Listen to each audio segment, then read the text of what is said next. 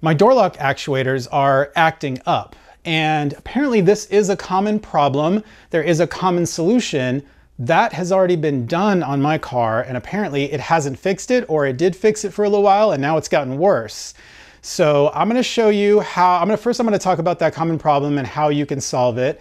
I'll show you what codes I have and then I will talk about how I diagnosed the actual problem on this car. All right guys, in a nutshell, the problem is when I lock the car, it unlocks. That's essentially the problem. Now, let me show you what codes I have. All right, and these are the codes in question that I have right here. A6D5 and A6D4, central locking relay, locking and unlocking. So if you have those codes and if you have them and you're watching this video because you have them, very likely the symptom that you have on your car is that the locks will not work at all. They, were, they will either stay open or they'll stay closed and they won't lock or unlock with the key fob. But again, that's not what's happening for me. When I lock my door, it automatically unlocks. Not the rest of them. The rest of them, I believe, work. Actually, that one seems is not working at all right now. That's a, that's a new symptom, actually. Those were working before, but this is the one that kind of primarily ha has been having the problem. It'll lock and then unlock.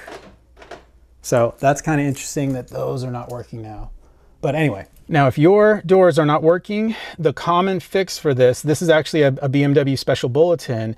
Cars were coming in with this problem and the fix is to replace a 15 amp fuse, fuse number 57, with a 20 amp fuse. It's literally what the factory says to do.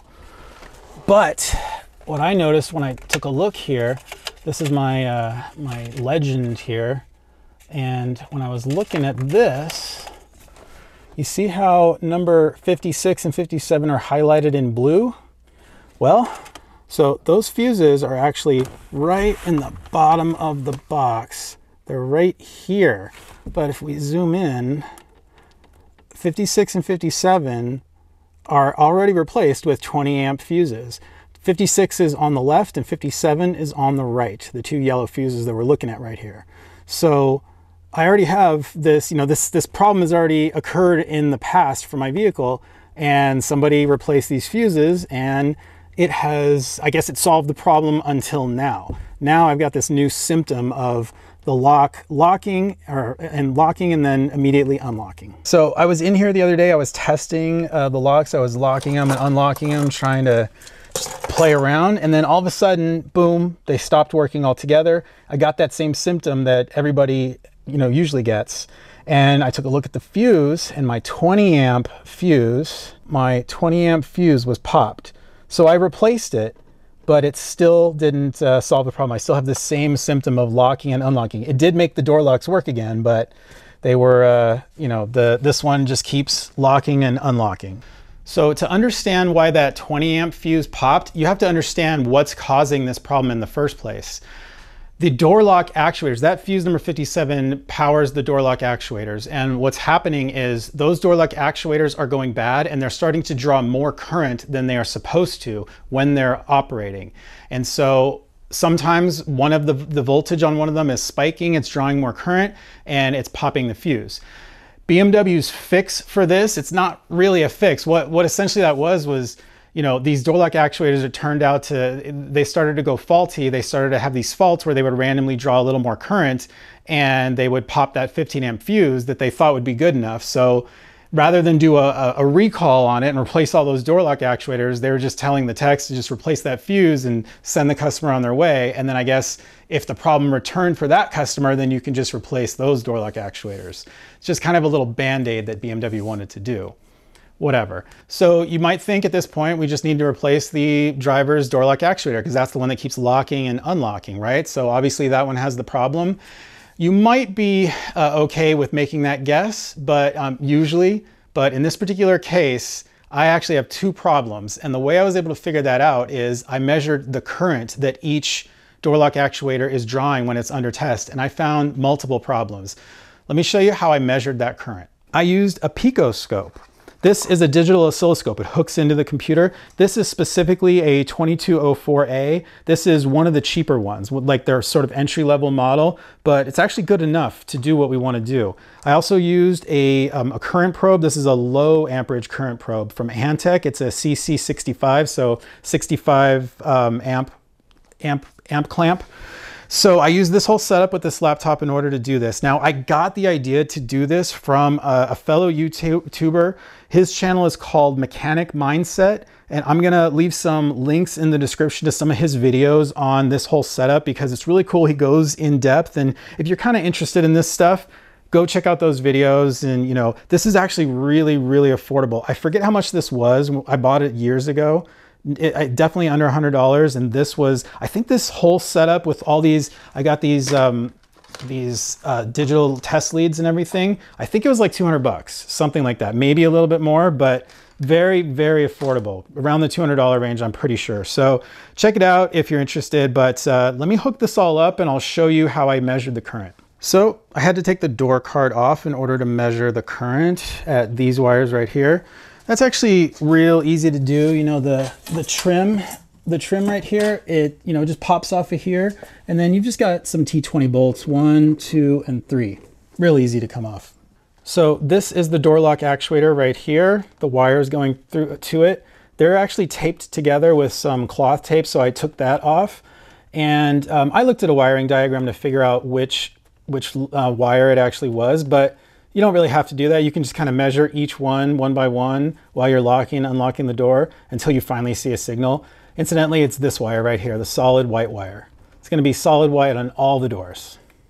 So all you do, you get your amp clamp. We're going to set it to 1 millivolts per every 10 milliamps. Now what that means is, um, I, I like to think of it the other way around. If you are measuring 1 amp then this thing is going to output 0.1 volts. And that's what you're gonna see on the screen. So in order to get the software to automatically change that to amps for us, we're gonna, we're gonna set it up to, to do that for us. But if you don't have software that does that, just know that when you're measuring one amp, it's putting out 0.1 volts. And on this scale, if you're measuring one amp, it's putting out 0.001 volts. So that's how that works. So we're gonna take this clamp and we're gonna put it around just this white wire like that. So that it's just kind of like that. Now, it, it, might be the wrong way around, but it, it really doesn't matter. You're still gonna see the same, um, same thing on the screen. Okay, so um, we're gonna set this thing up in order to record. Um, first of all, this is Picoscope Automotive software. I'm able to use that with this um, non-automotive Picoscope through a trick that uh, the mechanic mindset guy figured out. So again, I will link to uh, his videos for how to do that because I forget at this point. I'm going to set this to 500 milliseconds per division. And then I'm actually going to set up the probe so that, see right now it's a, a times one probe. And what I was telling you was, you know, uh, in the mode that we're in, every amp is going to show up as 0.1 volts. Well, if you want to do the math and convert that to, um, to a whole number or to amps, basically the times 10 will do that. You're going to see it read in volts, but it really means amps. But they have another probe defined, which is this one, 60 amp current clamp in 20 amp mode. That is the mode that we're in. That's basically the clamp that we have. We have a 65 amp one, but it works the same. So now when it does that math, it's actually gonna show up in amps on this scale. You know, you'll see that the trace that it's reading right now, it's coming in way under zero volts. That's because we need to zero it out. And you do that by pushing the button on the thing, which is that button right there, that button. So that zeroes it out. So let me point you to the screen while I'm doing that. You see there's this big thing when I do it and I push it a couple times and now it's reading zero. Actually, I want to set up a trigger here. Trigger, auto, and the trigger is right here. And I want to set it, ooh, this scale is too small. Set the scale to five amps or so. And we're going to trigger right at about two amps. Okay, so now I'm going to lock and unlock the door. See, okay, we are upside down with the current club, I'm gonna just go switch it. Okay, so all I did was switch it so that it's, uh, you know, I, I flipped it around. So now when I lock and unlock the door, there you go. Okay, I'm gonna do it again. I'm gonna do it a couple of times. Okay, now we're going to stop this. Cool, and let's go back and look at one of these. Ah, where's the thingy?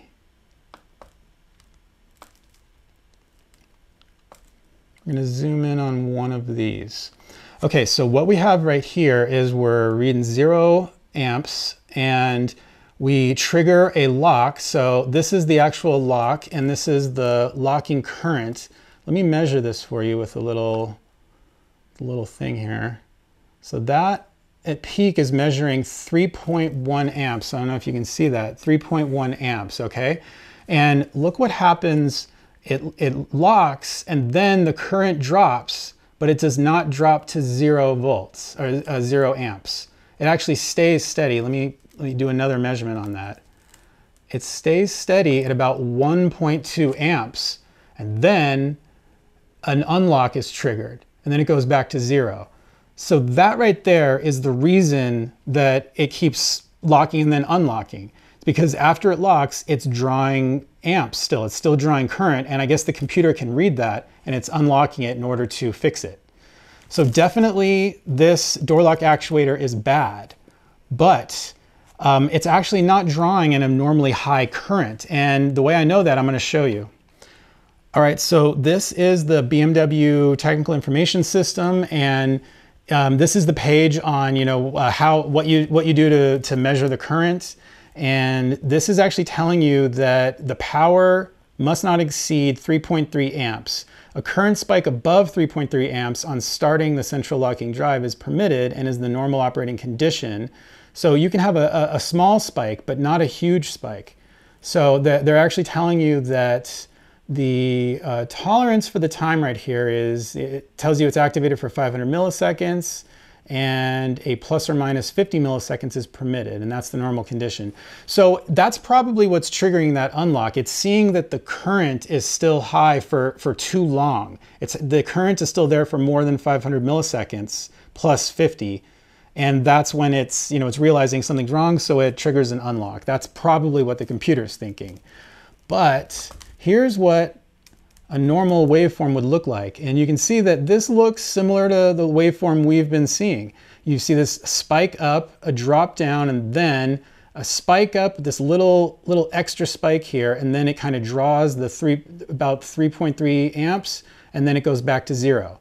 So why don't we go back to our current draw so you can see what's happening. You can see that there's that spike, it drops down, it goes up, there's that little spike up here, drops down and then here's the steady 3.3 or what should be 3.3. In this case, it's not quite 3.3, but it then it drops down and it stays at 1.2 for too long. And that's when it's triggering that unlock, right? So uh, it looks sort of normal except for, you know, that extra power that it's drawing, but it does not look like what they say a bad door lock looks like, which is that you see this, you know, you see the same pattern, but then it's drawing way more than 3.3 amps. They don't say what it's drawing in this particular drawing, but you can see that it's, you know, the red line is the 3.3, so it's probably drawing, you know, 5 amps in this particular case. They say that's what a bad one looks like. Well, that's not what this door lock looks like, this driver's door door lock looks like. So my remaining question was, how, why did the fuse blow? Because if this is drawing like at most 3.1 and you've got four door locks drawing about 3.1, that's about 12 amps. That's certainly not 20 amps. So something else was wrong, okay? So what I did was I measured the current on the other side and I'm not gonna do that again because I actually have it saved. So here we go, passenger's door lock.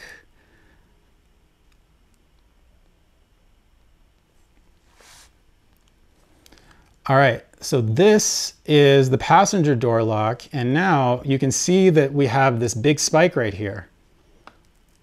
And that's actually at 6.2 amps.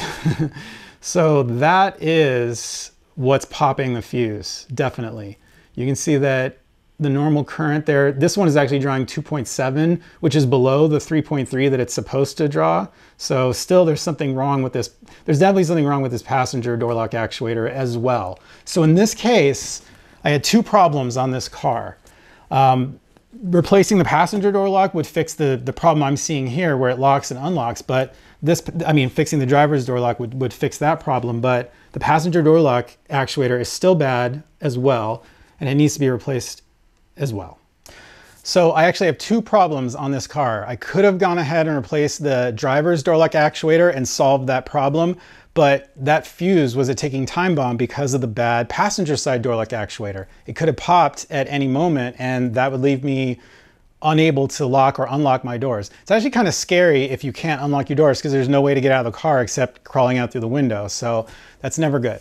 Anyway, I've got the parts on order. I'm waiting for them to arrive. When they arrive, I'll show you how to change it over and uh, we'll finish up this video. Let me know if you thought the diagnosis part with the picoscope was interesting. I certainly thought it was. I, I, really don't get the opportunity to use that ever. I'm definitely glad I have it because it allows me to definitively determine that a component is bad. A lot of the times you're just guessing without the proper tools to measure it. Um, if you're interested in more of that, I will do, I'll try to do more of it. Um, I'm not a professional though, and I don't I don't have a ton of experience with it. I don't get to see all these problems coming into my shop day after day, so I get all this experience. I just don't get that, but I'll try to do my best to cover it if you're interested. Let me know. So I just finished actually changing over the door lock, and I think it might make this whole video run a little bit too long. So what I'm gonna do is release this video first, and then I'll release the repair video next week. So if you enjoyed this video, give me a thumbs up, subscribe if you wanna see more. I'm the 50s Kid. Thanks a lot for watching.